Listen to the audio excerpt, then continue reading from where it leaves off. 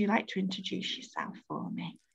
Yep, thanks, Claire. Hi, everyone. Um, good to see you here today virtually. I'm Stella Wisdom. I'm a digital curator working with contemporary British collections at the British Library um, and a fan of all things games in libraries. Excellent. Really happy to have you with us today, Stella. Thank you. And I'll move on to Ann Jones now. Hi, I'm Ann. Um, I run Cards or Die board gaming. So I do all sorts of things. I do events uh, with board games all over Leeds, um, corporate training, all sorts, all sorts of different events for board games. Um, and also I've, I've created a rulebook toolkit for people to use when they're creating their own games. So that's me. Fantastic. Thank you, Ann. And Ann's been doing four workshops for us on um, favourite games that she's been doing and taking us through the mechanics of game making. Um, and they've been recorded and they're on our playlist, which we'll share in chat as well.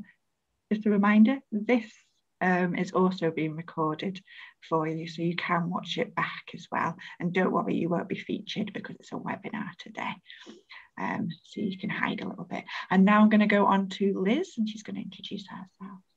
Hi, hello, I'm, I'm Liz Cable. I work at Leeds Trinity University teaching digital and social media and transmedia.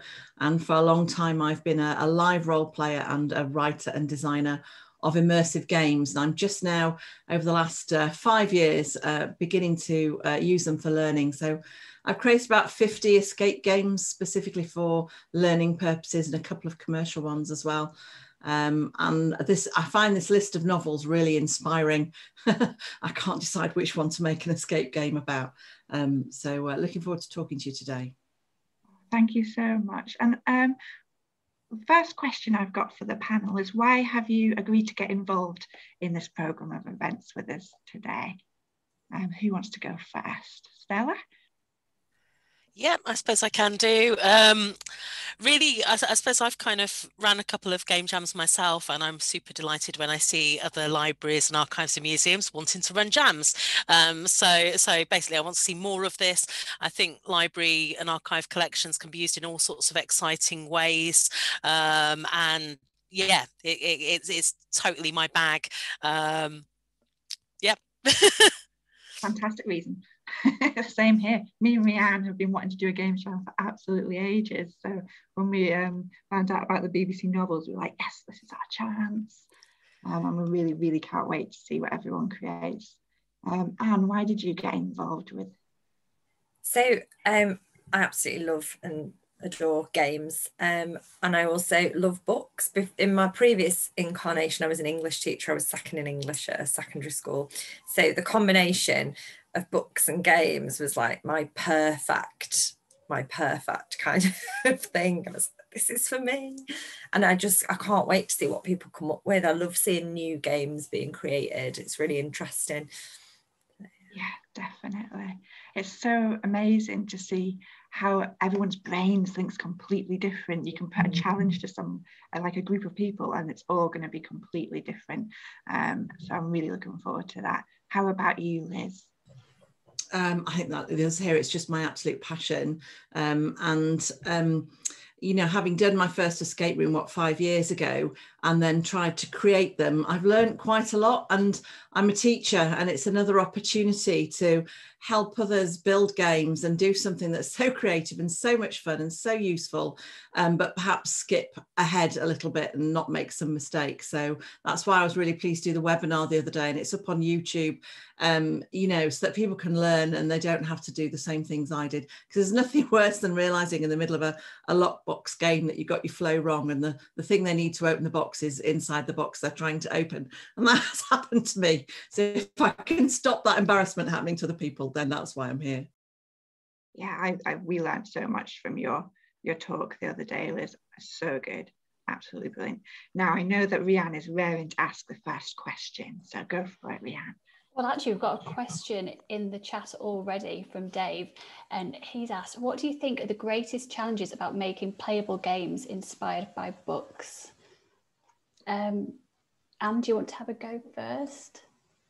Um, I think for me, the, the challenge is the same challenge in any game, isn't it? It's making a game that people want to play and that the theme doesn't completely dominate. I think sometimes you you have an idea of a theme and you can get so sidetracked by that theme that your game doesn't play very well. So it's that balance, isn't it, of making sure that you're creating a game that's good and that stands alone as a good game, but that also incorporates whatever it is you want to explore, whether that's character or plot or setting or whatever elements you've taken from the novel, that they support your game rather than overwhelm it. I guess it's all about balance for me.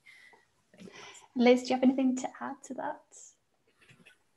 Um, I think um, one of the I think one of the issues is creating a story that sits well with the original game, but maybe isn't the original game. Because if you just stick to the book, the book is a linear telling of a, a, story. And what you want to do is allow with your game for people to enter that world and to be in the spirit of that world and have the essence of that world and some of the, as I talk about some of the artifacts of that story, but allow people to explore it in a different way. Because if the author was making a game, they wouldn't just translate the board game, uh, translate the book into a board game. So I think it's about feeling free to take some poetic license around it.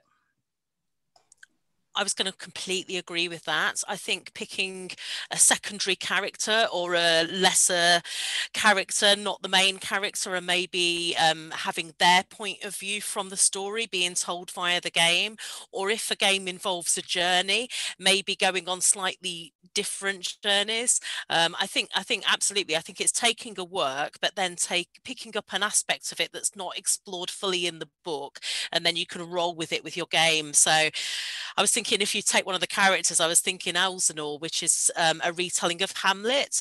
Um, so this is by Golden Glitch Games, um, but it's a it's a kind of time looping game, but it's from Ophelia's perspective and not Hamlet. So I completely agree with what Liz is saying saying there, and and try not to make a game too dull or scholarly. In fact, some um, a researcher at Edinburgh University was saying this. They've been analysing how games can be used in research and used in the classroom, and they're saying for, first and foremost, a game should be fun to play. Um, and if it's not fun to play, then you're kind of um, not really achieving your ob- objective. So yeah, it's it's don't sacrifice the fun by by trying to follow something too much. Um, and I think that leads on really nicely to our kind of next question about um, if we've got any kind of um, suggestions about any lit- literary inspired games and how they kind of work to challenge the narratives of the original stories or different perspectives. Um, and if you, yeah, so if you've got any suggestions about any good literary games, Liz, do you want to start? If you've got any? Oh well, my my favourite novel from the list is Pride and Prejudice, and there's rather a nice card game called Marrying Mr. Darcy, where you have to, uh, you know, if you're a, if you're a, a female player, you have to um, improve your etiquette. You have to become accomplished. You have to be able to talk and to gossip, and you you earn, you know, you sort of build up in your your reputation. I forget the exact uh, scores, um, but the idea isn't actually to marry Mr. Darcy. That's one of your options. The idea is to marry the best person in the game for you, and you can win in various different couple combinations, and it's just quite good fun to play. But that also brings in the kind of historical aspect, doesn't it? And brings it into the world of Jane Austen. And I like that idea that you could choose a different, maybe Darcy isn't the best choice out of the story, and you have all these different options. Um, and do you have any suggestions? Yeah, that's um, one that I like, which I happen to have here, is um, Agatha Christie's Death on the Cards. And I love this because basically, um, some of you are trying to um, work out who the murderer is and one of you is the murderer. So it's kind of a bit of a bluff game. But also it's just got like loads of little quotes from the novels and that it, it uses all lots of characters from lots of different novels and kind of smooshes them together. But it's got that real agatha christie tone to it and with all the quotes and things it's just really lovely. Yeah so i really like that one. I know you've already given us one stella but do you have any others um, I was going to mention Inkle's 80 80 Days, which is kind of retelling of, of Jules, Jules Verne's um, Around the World in 80 Days. So this is by Inkle, a small game studio in, in Cambridge. But I just kind of kind of love it. You um, there's so many different things you can buy and sell things at the market. You have conversations with people you meet. Um, if you don't look after Phileas Fogg, so you play um, Passepartout, so you're you're the kind of manservant. But if you don't like trim his moustache regularly, you kind of start lo- losing points. It's great. It's it's um, available on PC, but also smartphone, and um, I actually play it on my Kindle. Um, so yeah, it's um, I, I, just really love that work and I just wanted to give that a shout out because it's very accessible. Um, even with people who say to me, oh, I don't play video games, um, I, th- I, think it's so easy because it feels like part book, part game. It's kind of hard to define what that work is. But I know I don't think Around the World in 80 Days is on the is on the BBC list though. I checked, it isn't, is it? Um, I was I was going to give a shout out also to Terry Pratchett and Discworld because um, there are there are several Discworld games which I've not played, but the Terry Pratchett archive is in Senate House Library at University of London, and they've actually got the the video games as part of the archive and they're looking at how they can digitally preserve them. Um, so so uh, terry pratchett was kind of ahead of his time in kind of working with game developers and turning his his novels in into games very kind of early on and so i think it's very important that they are being kept for the future Um, that's a fantastic link into my next question. Um, so, do you work with library collections or artists to create games and new content? Um, and have you been inspired to create a game after researching an archive? Um, I'll leave straight back on to Stella if that is okay. Yeah, um, so I work at the British Library, um, which is a vast collection of all types of things from stamps to sound recordings, scrolls, um, you name it we can probably find it. Um, several years ago, there was a bit of kind of uncertainty about whether game designers would want to use our collections. And I think that's because a survey had been done, this is over 10 years ago, of would games companies come and use our reading rooms? And there was a bit of a finding of maybe they wouldn't, but they hadn't asked the questions of would they use digitized record, digitized collections available online. So I think I think the right questions weren't asked in that survey back then. Um, I started experimenting with with making digital collections available available to game designers because um, I went to a conference about digital preservation. I met um, Professor James Newman, who's at Bath Spa University, and Iain Simons, um, who runs the National Video Game Museum in Sheffield, which I believe is reopening up. So if people find themselves in Sheffield, do get yourself down there. They said to me, we run a competition for students, but it doesn't really have a focus. Could the British Library collaborate with us and we could um, use your digital collections um, and see if they work for a student competition? So that's how I started experimenting with how um, basically the British Library's digital collections could be used to make games it, I had no expectations when I started that project, um, but but I thought there's nothing to lose in trying, um, and it exceeded my expectations. In fact, it just kind of opened my eyes and seeing some of the works that the students made and submitted. They looked so professional. I couldn't believe that they were student projects and not been and hadn't been made by kind of professional games companies. So yeah, it, it, it kind of opened my eyes, and that's what kind of set me off using our collections in that way. Excellent. Um, we've got such a wealth, haven't we, in libraries of images, heritage, all sorts of things. And Rhiannon did a fantastic talk last week, um, all about behind the books on the BBC novels and linking um, real life stories and history into our collections. And that's again on our playlist. So please do have a little look at that. And there's also a Flickr um, account um, that's linked to our BBC novels list as well um, that Ariane's created four themes from. Oh, that's beautiful images in there. So Ann, have you ever been inspired to create a game from archives that you've seen or resources or have you seen any? Um, I've only I've only created um, a couple of games really um, and they've been more uh, for corporate training so they've been more to do with um, you know going into someone's workplace and them telling me what what they wanted people to learn and me building a game that would teach that so i did one in um, like social prescribing for instance but no i've never done that and i think it'd be really fascinating because i love looking at all like when Leeds Library share stuff on Twitter, or you know, you can go down quite a little rabbit hole, can't you? Looking at all the images and kind of reading around them. I love all that, but yeah, it's maybe on my to-do list. Liz, what about yourself?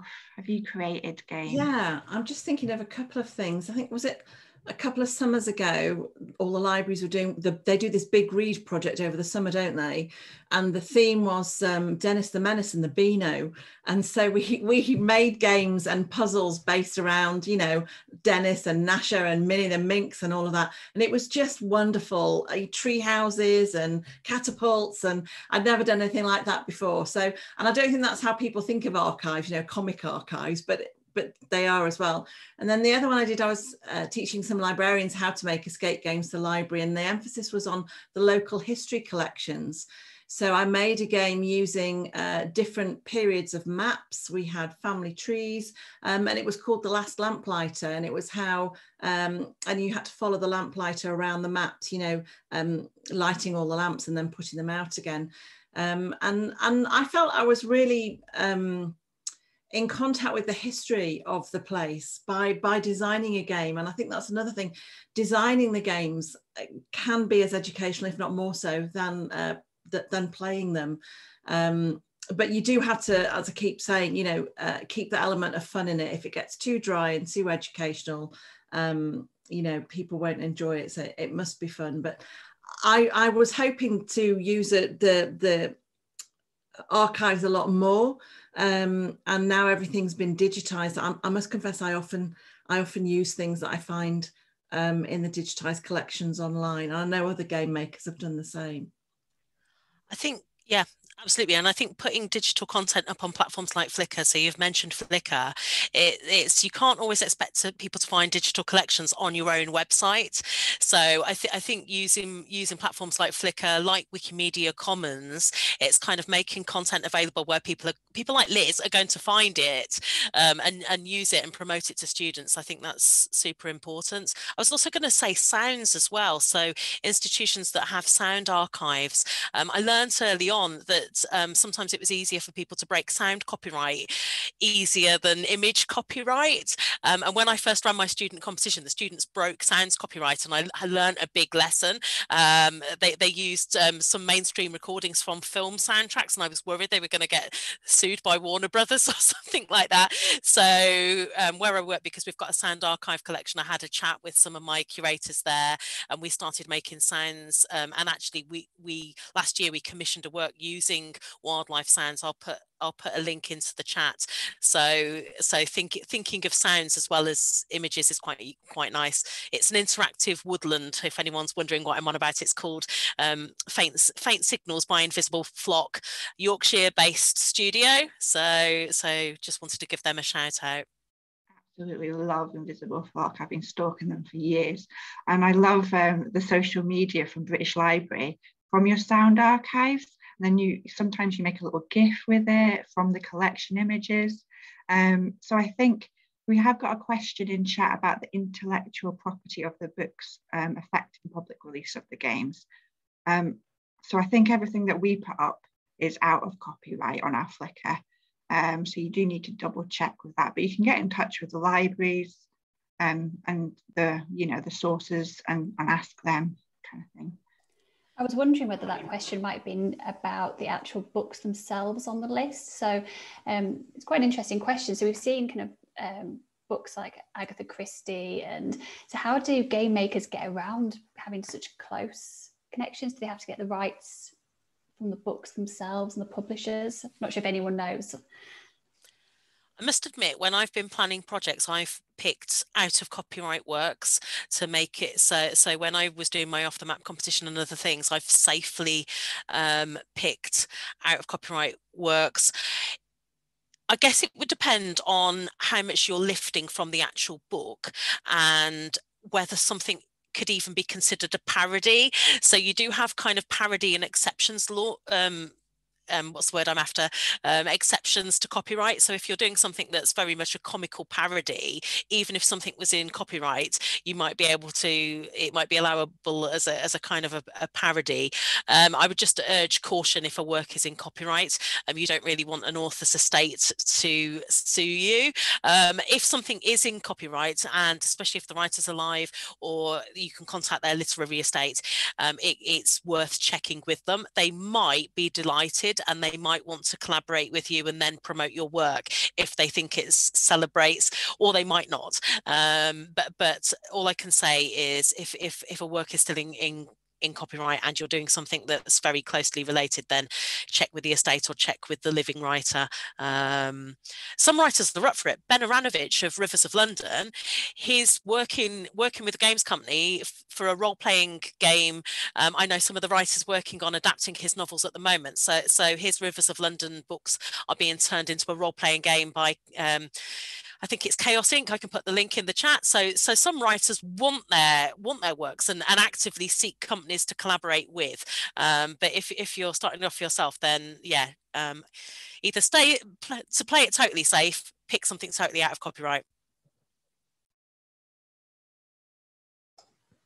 Yeah, I think it's always a, a minefield copyright. So I think uh, with the Games Jam, we're just thinking of kind of educational and it's a, a bit of fun. But if you wanted to actually develop it as a you know, and sell your game, then check all that kind of copyright issues first, I think.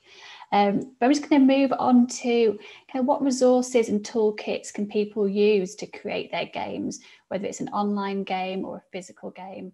Um, what can people use to actually get started? Um, Liz, do you want to start with that one? Um, in terms of creating an escape game from a standing start, there's a website called teamescapes.com um, I'll put a link in in a minute when I'm not talking. Um, and that um, has a, a, lock that you can use online. And then you can also upload all of the kit for your game. And there's some games that you can download and play for free that are up there already. There's a, a community creating games and you can create them yourself as well. But it's all completely, uh, it's print and play. So you, you, you design your game so it prints out and then people cut things out and move things together. And then they actually open the locks um, on open the locks online and, and get more information information when they've opened the locks. I also make a lot of games that run completely online and doing things like creating fake text message sites and fake tweet sites, that sort of thing. So you can have the Queen or a Barack Obama or someone congratulating you on uh, on uh, completing the game, they'll send you a text or what have you. Um, and also you can have phone messages as well. So there's sites you can go to online where you type in a script and the Queen's voice will then read it out for you. There's all sorts of fun things for many hours uh, Googling and making games online. Um, do you have any suggestions? Uh, yeah. Um, so for me, the biggest source for that is is my like on Twitter. There's a big community of board gamers on there, and a lot of them share. Like um, I retweeted something by Carla Kopp from Weird Giraffe Games the other day, and she often does blogs about her experience of designing games and the process of it. And also, people are very up for like chatting about the process and chatting about you know ideas there's an awful lot goes on of people sharing like you know i'm thinking these cards are finished and they'll share an image of the card and they're like what do you think? And some people are like oh the font's a bit small or oh i don't like that color on that background. And you get some really really good feedback and you can develop some really nice relationships on there with with other board gamers. Um, so that would be my first port of call i think. There's also quite a lot of facebook groups that do similar thing. So i'm a member of um, there's board game broads there's analog gamer girls there's a few there's a few groups where people will share their progress and also where they'll look for like play testers and groups of people who can play with with them and test the game out you know. Um, i've also i mentioned at the start created the rulebook toolkit. Um, and that takes you through the whole process really of of creating your rulebook. And that also has some information in about testing and, and the different iterations of building your game and thinking about things like consistency, inclusivity. Um, so I'll share a link for that, but that's um, that's a useful a useful kit really. It's like more than 13 hours worth of work for you to do. you don't have to do it all at once, obviously, but yeah, it's it's useful. So it's quite a lot about the pitfalls, isn't there? What um, people sometimes put in their toolkits and what puts people off, and it's a good resource. Um, Stella, do you have anything else to add on that? Yeah, I, I'm mostly interested in, I suppose, online open source um, platforms when you where you can write interactive fiction or make um, make small games, where especially where you don't need any previous knowledge of, of coding or programming, something that people can is very user friendly and you can just get started. So I was going to mention um, Twine and Bitsy and Scratch, um, and one of my colleagues has written a blog post basically listing listing some of these online interactive fiction writing tools and going through them with the pros and cons. So I've just put a link in the chat there. Um, Bitsy is pretty fun. It makes very retro looking games. Um, um, and we've actually got a virtual British library in Bitsy form. Um, I can put a link, a link in that. During lockdown, the first lockdown last year, we were missing the library. So we built um, a miniature Bitsy British library for people to come and um, virtually explore, which was a lot of fun. Twine's very good to get going, um, but also Scratch. Um, my colleague um, Cheryl Tipp is the library's wildlife curator, and she made um, a Flappy bat game last Halloween. Again during lockdown, it's it's. Um, I'm not saying that curators at the British Library spent lockdowns making games, but some of them made a few. Um, I think what we were thinking is if we want to encourage other people to start making some, maybe we should have a go ourselves. I'll put a link. Flappy Bat is is is quite a straightforward game. You have to um, try to flap your bats um, through. I am really terrible at it. Um, I um, so lots there's lots and lots of things like that out there actually. Um, and again, we're talking about talking to other um, creatives, um, meetup groups, um, and many of meetup groups that I used to go and meet physical meetup groups in person, but many of them have been running online. Um, and there's an Oxford and London interactive fiction kind of writers meetup group, but it's all online at the moment. So it doesn't matter where you are. You can be in Yorkshire, you could be in Greenland, you could be anywhere in the world. Um, and they've been having some great, great sessions.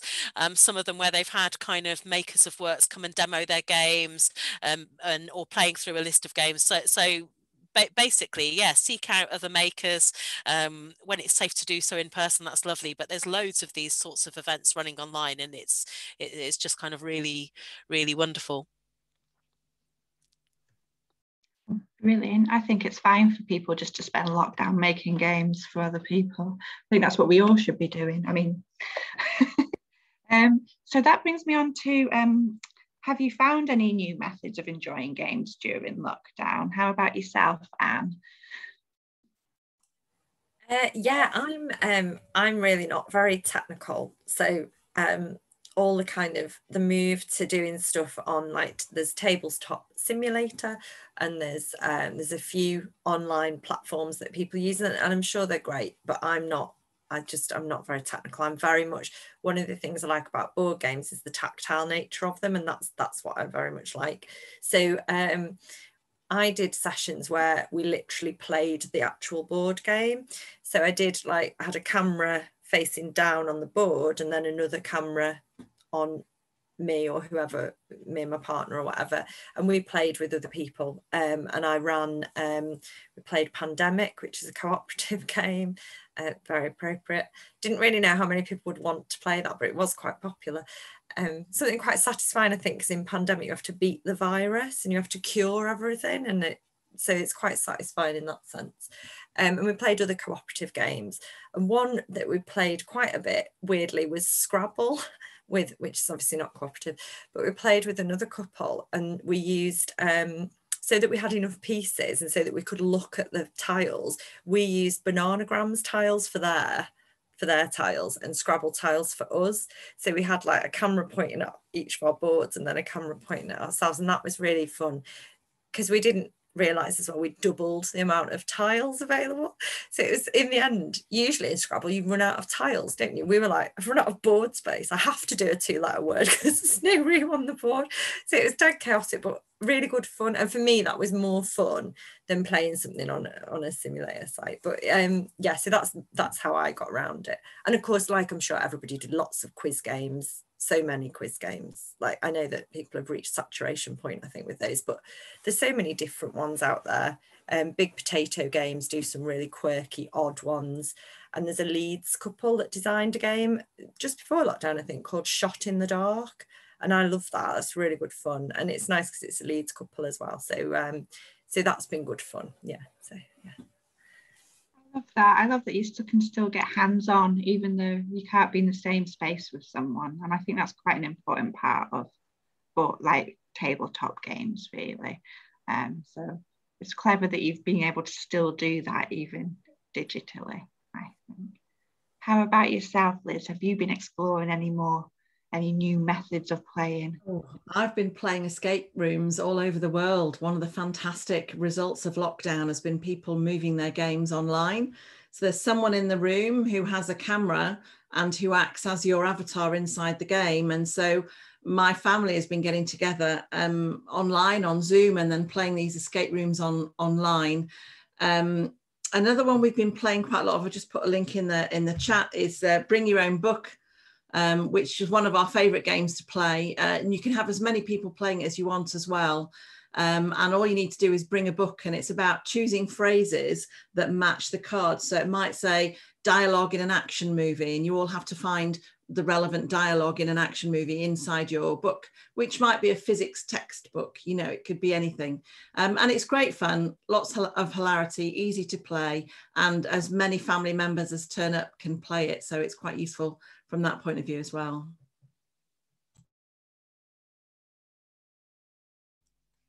Should I follow on from that? I, lo I love that last suggestion and it links into what I was going to say. So um, one of my favourite things has been a friend's um, a friend was organising a birthday party for her little girl. Um, this was in the first lockdown, and the and the little girl was quite upset because obviously her birthday was she wasn't able to have a real birthday party. So we used WhatsApp to play a game of Snap, but not with cards, where people had to suggest an object. So that this was a big group chat in WhatsApp, and I think it was called What Snap. I don't know whether anyone else has played this. This was the first time I played, and you literally had to go running around your house finding the object that, that the person who'd won the last round had suggested.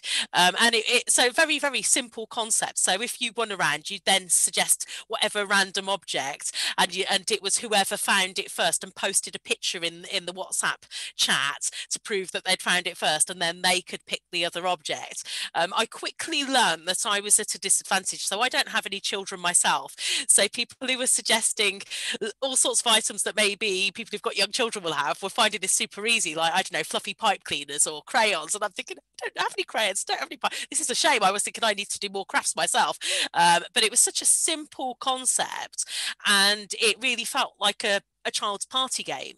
Um, and it meant that family members and friends who were dispersed all over the place, we, we could we could play this together using WhatsApp on our phones. And I just thought it was a really lovely, simple concept. Um, yeah, really liked it. You've been so creative. I was going to say, Ann, you must tell us about the birthday party you did. that was exactly what I was going to say. I did a child's birthday party on Zoom it was hilarious because I didn't I didn't know if it was going to work, but it did it did work. But we played so first of all we played bingo and he wanted a Halloween party obviously because it's April and why wouldn't you have a Halloween party in April? So we had a Halloween party which was awesome. And um, so we did Halloween bingo where I wrote down the names of the things and they had a grid. And then we did um, we played a kind of version of Beetle um, you know, where you roll the dice and you draw the beetle, really old fashioned kids game. So, but we played cat, we played witch's cat. So um, I, I sent them a template for a dice because of course not everybody has them at home, do they? But anyway, so they rolled, someone in the family rolled the die and the other family members had to draw a cat when they shouted out the numbers for the parts of the cat. And it was like a race. And then the first person to finish their cat held their cat up and shouted witch's cat it was the most chaotic thing. And then I played, um, I don't know if you've played this at real parties, but corners. I was just, I've written down your snap idea because I think that would have been awesome. But we played corners. And so I sent them four images. And the idea is you're normally in a big room when you play this with kids.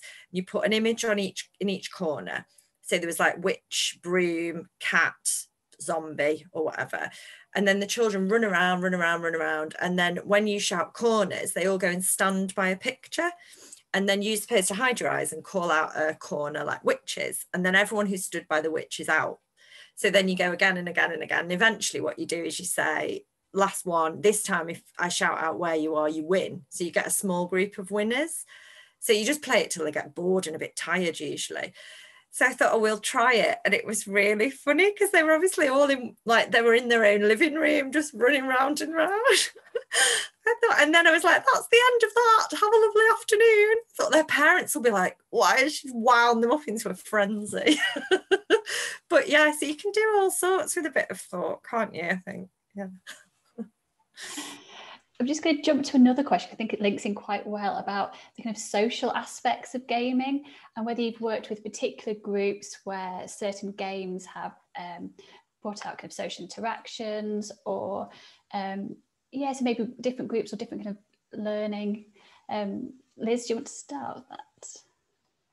Yeah, I just want to say one of the one of the games I do um, is called the Locked Box, and it's all it's a Sherlock Holmes game to introduce the te- golden age of detective fiction to English students. Um, and we used to do it sort of halfway through the second semester. That was where we started doing it.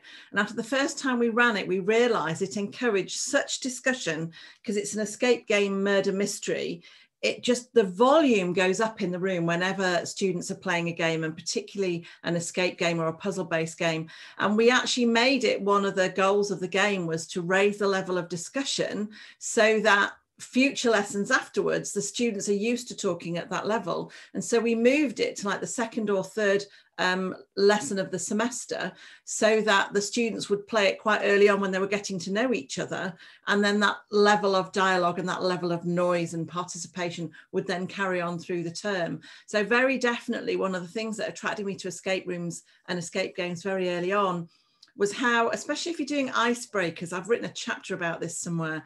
You know, icebreakers are often based on who can tell the most embarrassing story or, or be the wittiest or the cleverest in the moment. Whereas, in fact, if you give people a task to do together, then the introductions will follow naturally and it's much easier. And for someone like me uh, and, and others who are, you know, a little bit socially awkward, I'd far rather have a task than you know have that creeping doom of they're going to ask me a question and it's going to come to to me in a minute so um yeah i think that that sort of social rapport building is a really important part of these types of games Oh, I'm one of those people who absolutely dreads icebreakers. And I'm so worried about them coming to me that I don't remember anyone else's name or anything else anyone has said. I'd much prefer to do something a bit more collaborative. Um, but Stella, do you have any kind of examples? I was just going to say, on the very first day I met Liz, she invited me to an escape game that day. And it, it was the first day I met Liz we were complete strangers. I'd arrived at Bath Spa University campus for a conference. It was a Sunday afternoon. It was a nice day. I think I'd gone into either a common room or a kitchen. We were staying in halls of residence, and, and Liz was like, "I'm going to an escape date game. Anyone want to join me?" And, and we were all a bit like, "What's that?" And so, uh, so this is like, "Don't worry, it'll be fun." So you made the icebreaker happen, and it was brilliant. A group of us went and did an escape game, which actually wasn't very good. Um, I've forgotten the name of it now. It wasn't a very good one, but it was a brilliant icebreaker, and I had such a fun time, and it, it made me understand the concepts of them. So I'm always grateful to that experience. It, it, it was it was wonderful for my example though i'm going to use minecraft actually and um, so I've, I've done a project with lancaster university um, where they've been basically building literary environments from famous books in minecraft and calling it litcraft. Um, it's it's been brilliant and then using it in with all in all sorts of um, settings and organizations but we worked with a, a, local school in camden at the british library and the children would come in one afternoon a week. I think we did this for 12 weeks and they were children that were reluctant learners reluctant readers um, we actually got the children making their own games in litcraft for a younger age group. So we that we um, gave them some examples but over the over the 12 weeks they actually had to make some activities and make some worlds for younger children to explore. Um, and the children really engaged and really loved it. And i think they liked the fact i think they've made them feel a bit more grown up because they were making a learning resource for a younger age group. And it was just wonderful to see. So these these were children that maybe didn't didn't normally always enjoy school or enjoy learning um, and they and they really opened up and blossomed. Um, we also had a map session. So my colleague tom harper who's our antiquarian maps curator he did this wonderful session again treating them like adults and he brought some amazing antiquarian maps out and showed the children and it, it was just it was just really really wonderful and, and they did enjoy it and they asked tom lots of questions. And then tom came back on the last week and they and the children showed tom the games that they'd made. So it was a really nice. So earlier on at the start of the program, they'd seen the maps and Tom had explained, and then the children were explaining what they'd done to, to library staff at the end. It, it was just it was just a really really nice program. I think we were quite inspired with that. We did um, a Litcraft event um, based on Treasure Island, um, and I bought these 18th century pirate books and showed the kids, and then they created their own pirate characters. And we had maps and things as well. So that Minecraft was the real hook because they all, I mean, I couldn't play it at all, but they just picked it up, doing it, and then just almost by stealth bringing in these other examples, and of course showing them real life pirates. It was it was great. But yeah, so it's nice how we can spread those kind of learning and those kind of programs across the country, really. Um, and do you have any examples of different groups you've worked with or where games have worked really well? Yeah, definitely. I was just, I like to comment about stealth because when I was teaching, I was used to quite like a bit of learning by stealth. So you'd say things like, we're not going to do any writing. And then about halfway through the lesson, you kind of go, well, you might want to make a note of this. And because you started by saying, we're not going to do any writing, they're like, oh, I'll write that down. It might be important. Do you know that kind of bit sneaky, but really engage? Yeah, I used to do, love doing odd things with them or like there was a poem that was um, banned it was taken out of the anthology and um, we used to um, i used to deliberately give out half the old anthologies that had the poem in and then half the new anthologies that just said this page deliberately left blank and i used to always just say to them when they were like I'd say turn to page, and they'd turn to it and they'd be like, I haven't got that poem. And I'd go, Oh, I forgot we're not allowed to do it. Right, I'll have to take them back in. We're not, I'll have to do a different we're not allowed to do it. And they'd be like, what do you mean we're not allowed to be like, the government won't let you read that poem. and they were instantly like, I have to read that poem. like, just love it. It's like, oh, go on then. I was like, don't tell anyone we've done it. but, but anyway, yeah, back to the actual question. So um, I did some mental health meetups at um, the Abbey House Museum using games and they were really lovely. We used to get just a small group of people, but it was always really nice. And like, to be honest, we didn't always play loads of games. We didn't always play the most complicated game. You know, sometimes we'd just play half a game of something, but it was a nice vehicle for like, I think, you know, picking up on what Liz was saying about feeling maybe a bit awkward. It gives you like a focus, doesn't it? So it's like, it's not like we're going to meet and we're going to talk really intensively about our mental health, you know, because that's just no one wants to come to that. Whereas if you say, oh, we're just going to get together and play some games and I'll teach you the games, then it, it's kind of like incidentally as you're playing the games, you'd be like, so how was your week? Or, you know, and you end up talking quite a lot.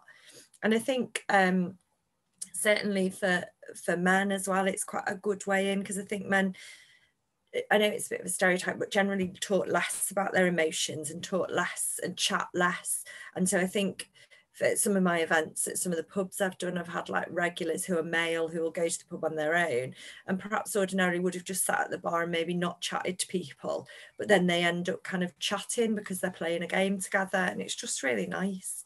Um, and I did a, a, a group, like a, a, scheme of work, sort of a group of sessions on social um, skills um, at a special school that teaches children with autism. And that was really successful. That was really you know they really loved the games they really enjoyed them. And that was to do with you know we did cooperative games where each person has their own skill that they have to use. So it's all about you know being able to say oh i'm running out of water and someone saying oh it's okay i can carry extra water.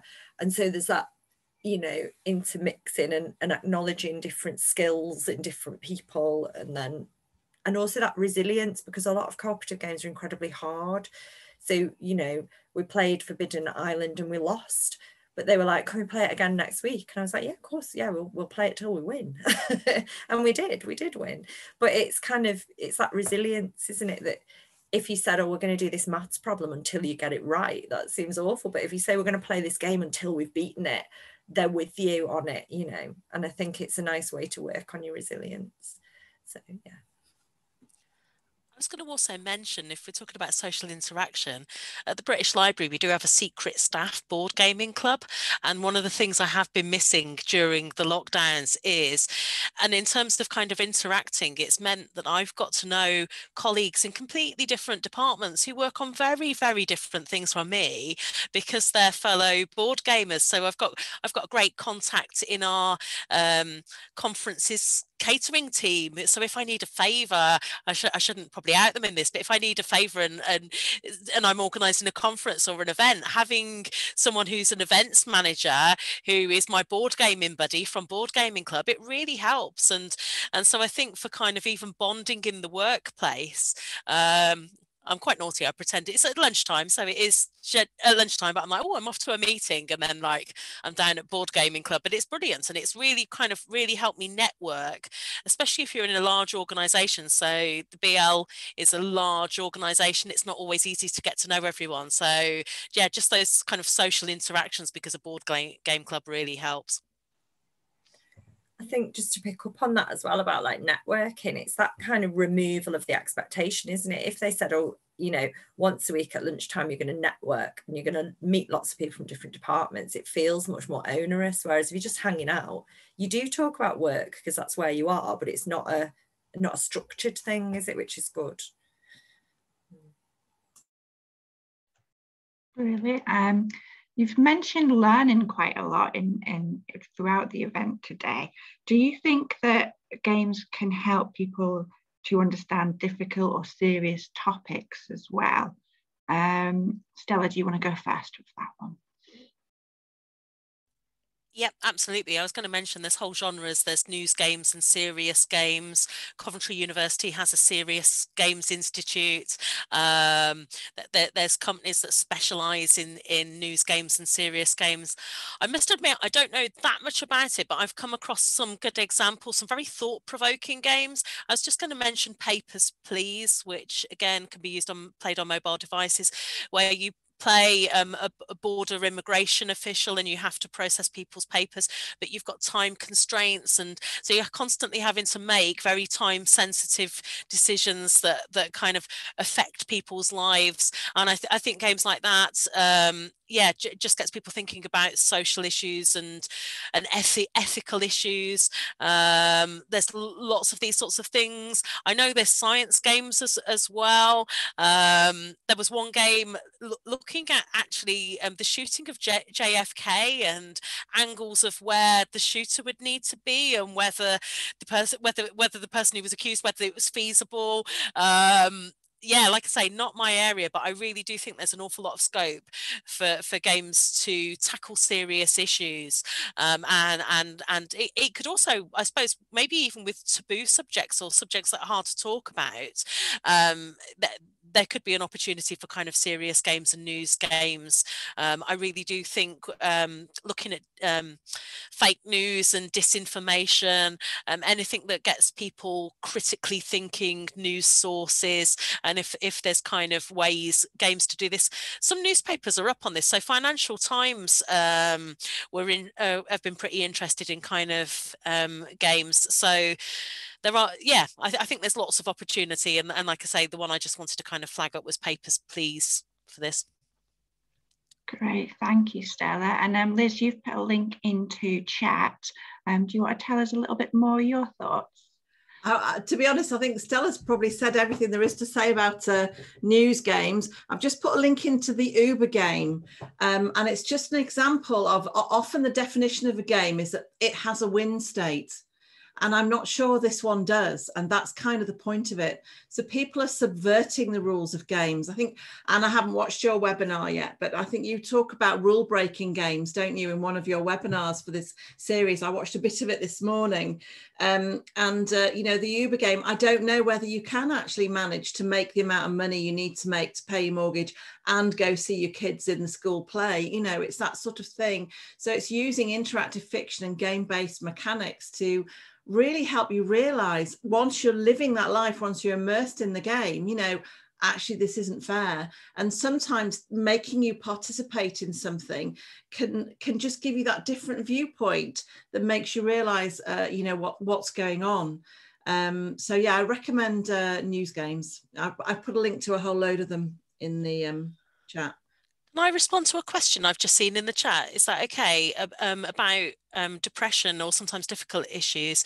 Um, with Twine, so I've mentioned interactive fiction before, there's actually quite a lot of interactive fiction about depression um, and, and kind of other mental health. Um, in fact, there's a very famous work of interactive fiction um, called Depression Quest, and I put a link in. I hosted um, a, a project at the library collecting interactive fiction, and so this was Lynda Clark. She's now at Dundee University, but Lynda spent six months at the British Library collecting interactive fiction in the UK Web Archive. She analysed the themes of the works that she collected, and depression was one of the themes of many of the works that were in there, um, along with I think what was it, tea and trains. So, but but some but it was it's she did some analysis and did some pie charts about the themes of the works. Um, but but I, I I do think as yes i mean handled sensitively but but certainly with works of interactive fiction i've seen quite a lot of writing about that um, and it can be a useful way for people to express themselves. Same with kind of lgbtq plus issues um, one of my collaborators wrote a blog post about works of interactive fiction um, written by um, trans writers. Um, again, we have a number of them in the collection that Lynda um, built for us. Um, and, and so, yeah, certainly in the world of interactive fiction, the, these kind of topics are dealt with a lot. I'll put try and put some things in. Liz, you're ahead of the game. Thanks for pasting that in for, for Depression um, Quest. Thanks. Yes, I, I, suppose games are very much storytelling, so you can learn about other people's um, perspectives and experiences, and then you know maybe you're not alone, um, and other people have gone through what you're going through, and again, opening up a new social network for you, which I think is really important. And have you got any examples of um, learning based games on difficult subjects or yeah i think i was going to echo what you just said kind kind of what stella said about storytelling games because as soon as you're taking on a character like in a book you can explore things that are beyond your your sphere of experience can't you by by inhabiting that character? So i think that's that's true of a lot of storytelling games. Um, and just come back to what liz said about games without a win condition I had a really interesting conversation on twitter again about I just posted the question, is it still a game if you can't win? And there was like a bit of mm, no, no, it's not. And I think traditionally we, we think no, that's that's not a game. But actually, the more the more you discuss it, the more you think actually, why is that? Why do we expect to have a win and a lose? Where actually you could just be completing a set of objectives or completing an outcome. So it's a really interesting question. And one of the ones that I looked at in the early sessions that we did was called And Then We Died, which is interesting because it deals with the topic of death and and so that's that's quite an interesting one. And certainly in the in the notes that come with it it suggests that before you play you need to come to some sort of understanding in a group of how you're going to tackle the subject. Because obviously some people are quite flippant about it some quite light-hearted other people may feel that it's something that requires a serious response. So you're creating a story about how you how you've died sort of thing but you can do it in all different ways. And i think that's quite nice. And that doesn't have a win condition. The the outcome is that you work out what happened. Um and then the other one that i thought of when you were talking was um of course monopoly originally when you were saying about the uber game monopoly originally was a socialist game wasn't it? And it was supposed to be played that to, to show the kind of evils of capitalism, wasn't it? And actually, it, it's funny, isn't it? Because everyone was like, "Oh, that's not very interesting. Let's make it capitalist because that's fun," you know. And that that's how it ended up being Monopoly, basically, isn't it? That it was more fun to play in that way. So it's interesting, isn't it? Because that that started off very differently. It's interesting how it went. And you wonder whether if that game came out now as a modern game, whether it would have ended up being capitalist or whether people would have been like, oh, fine with this being a socialist game and, and looking at the evils of capitalism. It's interesting. Um, and then the one that I was originally going to mention is called The Troubled Life of Billy Kerr and it's about it's it's um, about a man who's dying and he's got dementia and you have to kind of um, piece together his memories and you also have to resolve some of his kind of issues and things that have happened I haven't played it. When it came out, um, both my parents died of dementia, and when it came out, it was a little bit too close to the bone for me. Um, but certainly, the things I've heard about it really resonate. That idea that everything's settled. I remember going to see my dad and he wasn't kind of really conscious, but I remember me and my sister laughing because we've both been saying the same things to him like, everything's sorted. We've organised this, we've organised that. I've watered the garden, you know, kind of just silly things that you say to people to kind of to make him feel settled, you know. And one of the things that we had both told him was um, while he was poorly, the, they were doing work on the car parks. The car park was free. And my dad was always a big moaner about the cost of car parks. So we were both saying to him when we went in, I don't know what other people must have thought when they heard us, but we were going in going, the car park was free, Dad. I haven't, I haven't had to pay. Brilliant. Stay as long as I like and it's free. so we're thinking, fancy worrying about money when your dad's lying there. But because we knew he'd be pleased to hear it. So it's I think at some point I'd love to play that game because I think it's interesting to me about how aware people are as they kind of slip away. Do you know what I mean? So yeah, so that's called the Troubled Life of Billy Kerr, and I think that's again, it's not a fun game by any means, but it's an interesting game, and it's it's playing about with ideas, isn't it? And yeah, coming to a conclusion. I, I wonder if that's got a win condition. I don't know. You've made me think, Ann. Northumbria University were doing a project with interactive jewellery with photographs that could trigger memories to work with people with dementia and Alzheimer's. I, I haven't got a link on hand, but I found this really interesting. Um, it, it was so not games as such, but interactive jewelry with memory photogra- photographs.